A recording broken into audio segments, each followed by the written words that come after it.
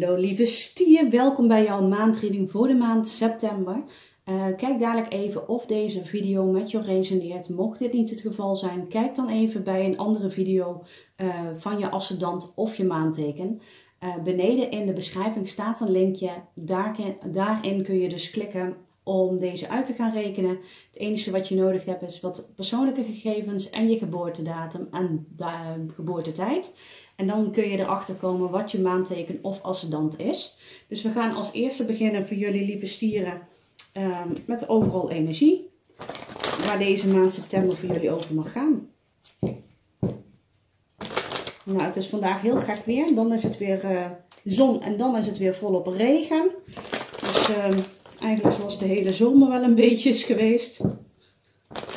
Lekker wisselvallig Nederlands weer. Oké, wat mag ik weten? De stier. Nou, dat was al heel snel. Uh, patient hebben wij en we hebben derde chakra. Dus de zonnevlecht. Dan mag dus eerst nog een heling plaats gaan vinden. Daar mag je ook de nodige geduld voor vinden. Het voelt voor mij dat er iets gaat stromen in de wintermaand. Ik zie hier natuurlijk uh, ja, de sneeuw. Uh, het is nu nog niet de tijd om hier verder in te gaan. Die tijd gaat pas later in het jaar komen.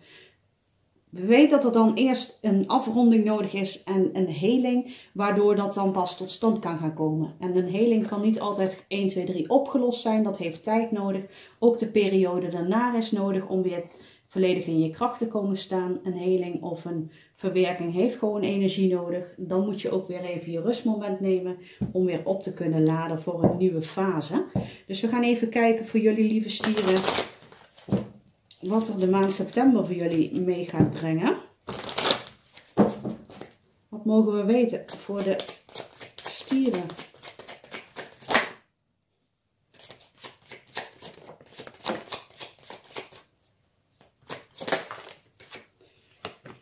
Oké.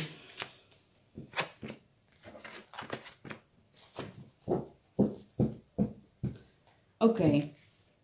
Je wil een bepaalde stabiliteit opbouwen en ook emotioneel gezien wil je weer vooruitgang gaan boeken. Maar op dit moment is het eerst nodig om dus die ruststand te nemen. Om het lichtje naar binnen te schijnen. Om te gaan kijken waar jouw blokkades zitten. Alvorens je dus weer een vooruitgang kunt gaan krijgen.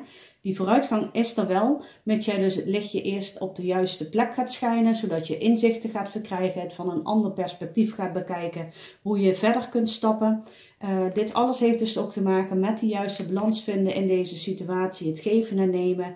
Uh, weten waar jouw grenzen liggen en de waarheden um, vanuit het juiste uh, te handelen. Dus echt vanuit je intuïtie en niet vanuit jouw ego. alleen er zijn bepaalde dingen nog niet zichtbaar in deze situatie voor jou. Dat kan te maken hebben omdat het pas op een later moment in jouw leven gaat komen. En dan pas in de wintermaand zichtbaar zal gaan worden. Dus ik ga heel even kijken wat ik hier nog extra op mag neerleggen. Pas er net niet helemaal op. Zo, ik hoop dat het voor jullie zichtbaar is. Ik heb mijn camera weer anders staan, zie ik. Ja, jullie kennen mij, ik blijf ermee stoeien met dat ding. Oké, wat mag ik nog meer weten op deze lekking? Een rijtje erbij alsjeblieft. Oh, deze? Nee.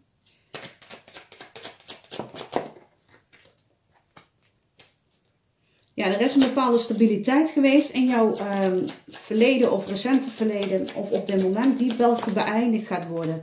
Uh, dat heeft te maken met het feit dat er iets afgesloten moet gaan worden wat pijnlijk is. En dat heeft dus ook te maken waardoor die uh, blokkade dus opgetreden is.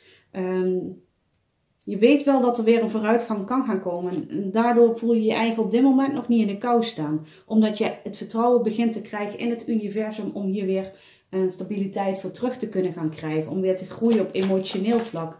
Liefde te gaan voelen. Die vieringen weer te gaan ervaren. Dus jij weet eigenlijk wel hoe jij deze vooruitgang kan gaan maken. Maar je weet ook dat dat gewoon nog tijd kost. En dat je daar gewoon tijd voor moet nemen. En dus ook niet iets uh, kunt gaan forceren. Die vooruitgang zal dus pas over een tijdje zijn. Uh, dit is eerst het stuk waar je naar mag gaan kijken.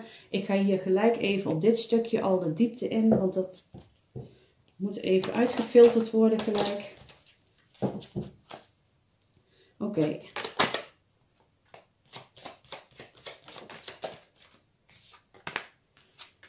Ja, weer een torenmoment. Eigenlijk een beetje hetzelfde gevoel als bij de zwaardekaart.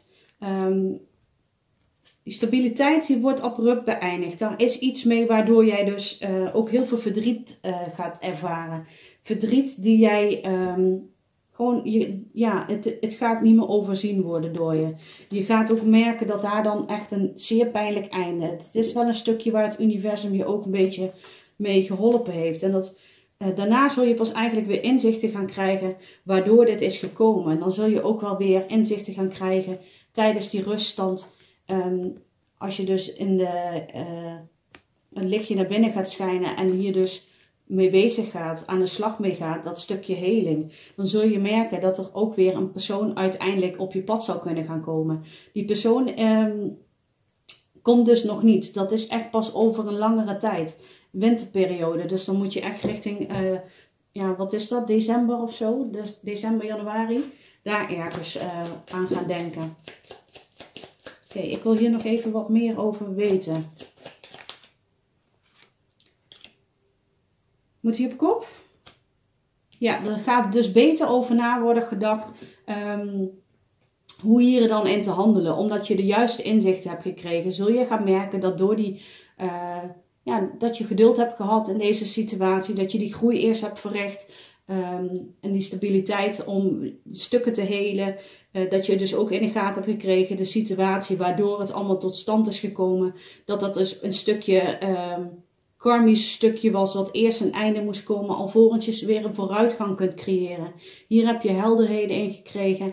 Uh, je bent dus niet meer dat je um, eigenlijk zonder na te denken weer uh, het diepe inspringt, vooruit gaat op, op dat paard en uh, zonder eigenlijk na te denken al iets hebt um, ja, gedaan. Misschien zelfs een relatie zou starten of zo. Je bent er heel bewust van op dit moment, doordat je dit stuk doorlopen hebt. Dan zal er weer die vooruitgang gaan komen. En die koning die ligt er natuurlijk niet voor niks. Dus we gaan even kijken wat er nog meer bij komt kijken met kaarten.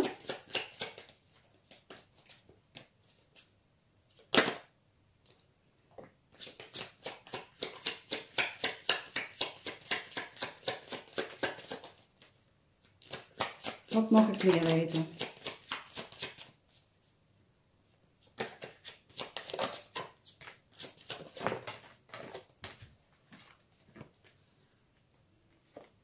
Weer het torenmoment.